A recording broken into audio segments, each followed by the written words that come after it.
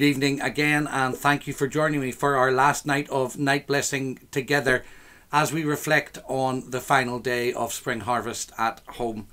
It's been a remarkable day as we have explored what it means to be unleashed participants in God's great purposes and plans for the world and all that that might mean for us.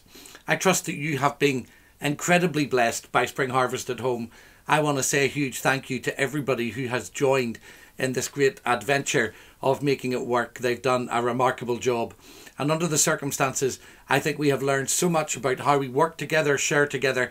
And actually, that is for me the lesson that I want to leave you with. We are in this together.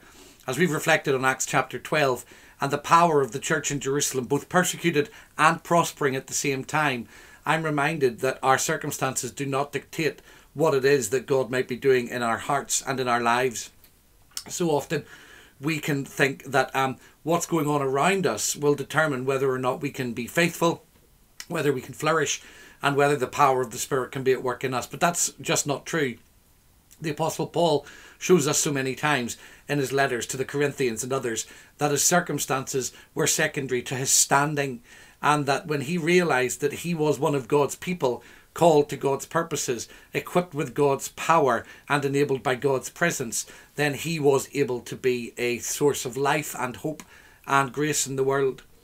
When he wrote to the church in Philippi, he was in jail and he was facing real uncertainty. In fact, in Philippians chapter 1, it's very clear that he doesn't know whether he's going to live or die, and he's in prison. And yet, even in that set of circumstances, he has great faith that he can trust God and that he is a participant in a kingdom that cannot be shaken and in a gospel that cannot be broken.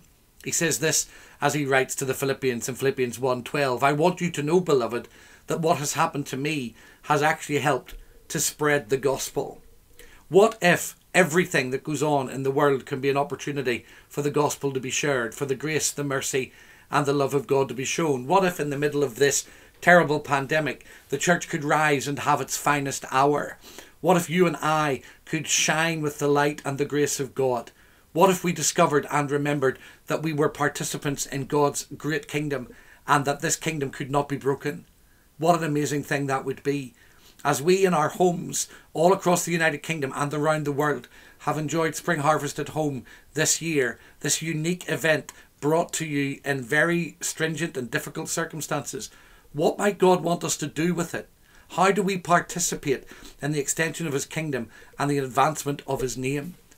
Could we look with God's lens at the world? Could we see our circumstances through a different um, microscope, through a different magnifying glass?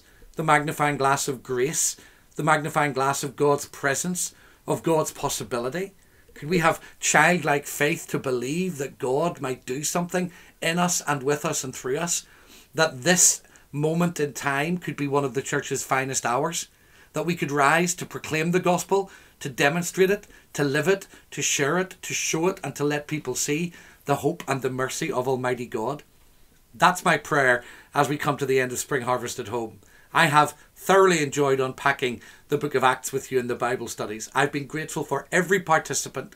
I'm grateful for the seminar I did on grief I'm grateful for all of the people that have facilitated, participated, and enabled this event. But now it's down, sisters and brothers, to you and me. How we leave Spring Harvest, what we do as we go from Spring Harvest at home into our daily lives is vital. We have an opportunity to be released from old thinking, to be released from old ways of doing things, to break a chain and to step into freedom that perhaps we haven't known before. This is a remarkable moment of opportunity for the church as we explore what it is to be participants in the kingdom of God, a kingdom that is coming, a kingdom that has come, a kingdom that is secure and established. We know the end of this story. God wins. And as you go to sleep tonight, as this final day of spring harvest at home comes to an end, I pray that you and I will catch a vision of what it means to have unleashed power, to be unleashed people, to move and carry the presence of God, to live in the potential of all that God has for us, and to be participants in a kingdom that can never be broken and never destroyed.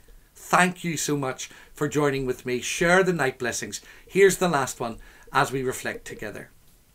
May you remember that you may be refined by your circumstances, but you do not need to be defined by them. Whatever you are facing, may you remember that you are part of a kingdom that cannot be shaken. May you play your part in the great story of hope wherever God has placed you, and may you live a life liberated by love for the glory of God. What a remarkable week it has been. What a powerful time of encounter every day. I pray these night blessings have blessed, encouraged, and strengthened you. And as you go into your daily life and into all that lies ahead, confined, liberated, isolated together, um, shielded, or released, whatever is going on in the United Kingdom, with all of the terrible news around us, remember we have a gospel to proclaim, a king to serve, and a kingdom that we are part of that cannot be shaken. May the Spirit of God fill you and the grace of God lead you into territory where hope is possible and love is manifested. Good night. God bless you. And thank you for joining Spring Harvest at Home this year.